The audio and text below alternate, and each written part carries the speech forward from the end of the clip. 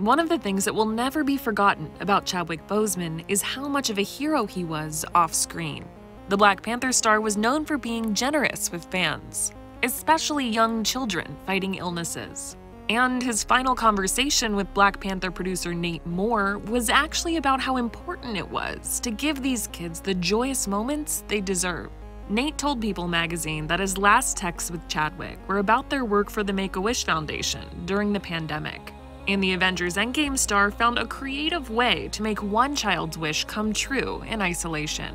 Nate explained, It was during lockdown, and we worked together to get a young boy a voice note from T'Challa, as well as a package of toys. No easy feat when we weren't allowed to leave our homes or go to the office. But Chad figured out how to make it work because he cared so intently, and in hindsight, so personally. Nate said the final text he got from Chadwick was about just how powerful making someone's day can be. According to him, it read, It broke me, man, but we need to do that for them.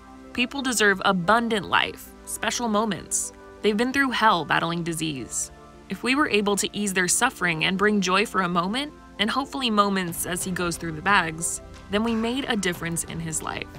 Nate said that while people can read a lot into that text, considering Chadwick was secretly fighting stage 4 colon cancer at the time. He doesn't believe that personal battle was why the actor was so intent on helping others.